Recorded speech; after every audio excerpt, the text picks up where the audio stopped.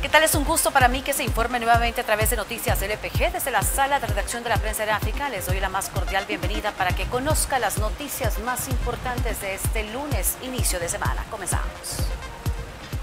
A pocas horas de que entre en vigor la ley Bitcoin en El Salvador que obliga a todos los agentes económicos a aceptar la criptomoneda, la diputada del partido Vamos, Claudia Ortiz, presentó una nueva iniciativa para su derogatoria, la cual se suma a otras interpuestas en los últimos meses. Ortiz dijo que presentó la iniciativa en respuesta a la petición de la mayoría de salvadoreños. Según la más reciente encuesta de LPG Datos, el 65% de la población rechaza el uso del Bitcoin como moneda de curso legal. Vamos a ver si es cierto que hacen la voluntad del pueblo, dijo Ortiz, refiriéndose a la bancada de Nuevas Ideas, quien frecuentemente afirma que atiende a la voluntad popular. La comunidad internacional se sigue pronunciando ante la situación que vive El Salvador. Esta vez el director de la División de las Américas de Human Rights Watch, José Miguel Vivanco, comparó al presidente Nayib Bukele con el expresidente de Venezuela, Hugo Chávez. Manifestó que Bukele desmantela las instituciones democráticas, pero con un ritmo mucho más alarmante. Estas declaraciones llegan mientras que en El Salvador se han iniciado una serie de protestas y múltiples llamados al restablecimiento del orden constitucional, luego que el gobierno de Bukele lograra que los magistrados que impuso en la sala de lo constitucional de la Corte Suprema de Justicia avalaran una reelección presidencial inmediata.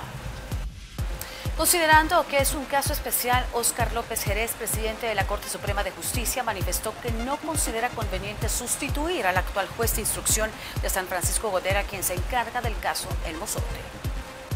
López Jerez dijo que el juez Jorge Guzmán ya conoce bien el caso de la masacre de 1981, esto pese a que el sustituirlo cumple con los criterios que establece la reciente reforma a la ley de la carrera judicial ejecutada por la Asamblea Legislativa.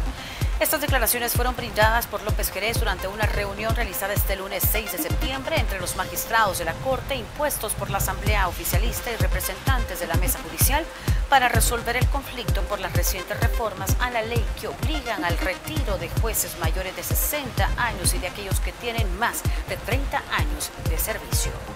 Este lunes 6 continuó la audiencia preliminar en contra del expresidente Elías Antonio Saca, Gerardo Antonio Crit y Juan Tennant Wright por el caso Taiwán. Los imputados son acusados de desviar 10 millones de dólares donados por Taiwán durante los terremotos de 2001. Solicitando la condena de responsabilidad civil por la cantidad de 10 millones de dólares por, por la donación recibida por China Taiwán, que fue especulada por el expresidente Francisco Flores. La Fiscalía informó que cuenta con abundante prueba para demostrar el desvío de los fondos por parte de los exfuncionarios de Arena. Gracias por mantenerse informado con nosotros. Nos vemos mañana con más información actualizada.